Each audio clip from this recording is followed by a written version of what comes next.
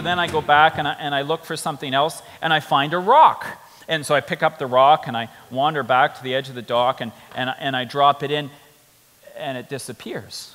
And, and, it goes beneath the surface. And, and, so I take another couple of steps to see if I can see it, and it's going deeper, and I lean in, and before you know it, I'm in the lake as well.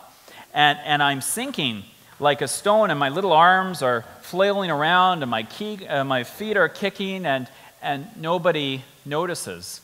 The, party on the dock just keeps going and I'm in real trouble. And, and I start slipping beneath the surface. It's a terrible feeling if you've ever had that underwater. And I start sinking deeper and deeper. And then I panic, and, and the panic starts rising. I'm just a little guy, but I so remember this going deeper into the dark lake.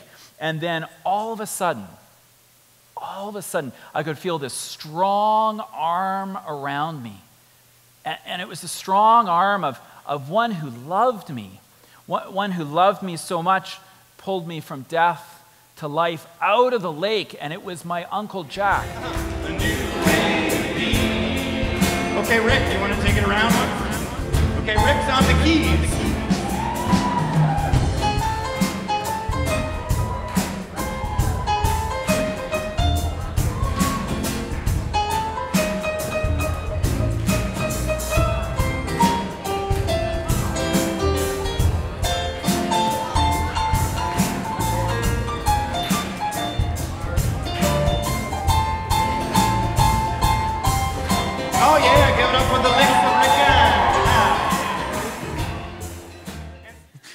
Honest. Let's be honest. Religion has a bad name these days. People look at all the wars currently happening in the Middle East. They look at Christians who spread hatred against our queer brothers and sisters and friends and allies. They look at the caste system and forced marriage in India and all these things and they say, that's what religion is. Well, they're wrong. Kind of. I'd say this instead all religions, in all faith traditions, there's a dividing line. On one side are fundamentalists who say, We know the truth, and everyone else is going to hell or going somewhere bad. So get with us, or you're damned for eternity. And then there are those who are open, who realize Scripture must be put into context, who use religion to bring people together and to heal. You know, there are those who will use religion throughout history to support oppression, and those who use religion to tear it down. And this struggle between fundamentalists and those who are open has been going on for all of history and may never end. But we have to choose. What kind of Christians will we be? Well, there's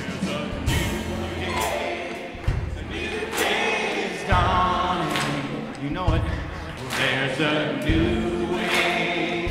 A new day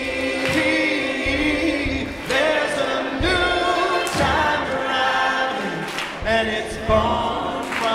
You know it. Well, there's a new way.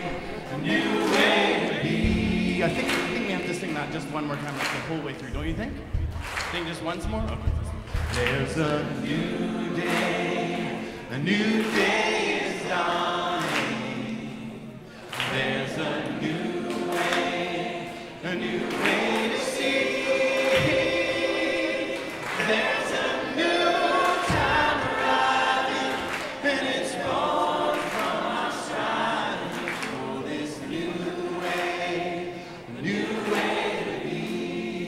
this new way. For this new way, new way to be. Big gospel ending now. For this new way. Let me hear it. Uh, new way.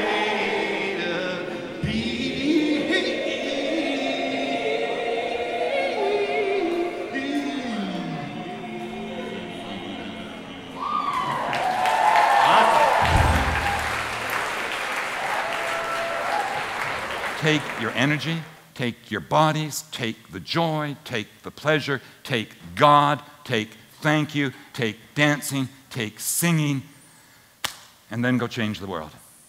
And then see the grace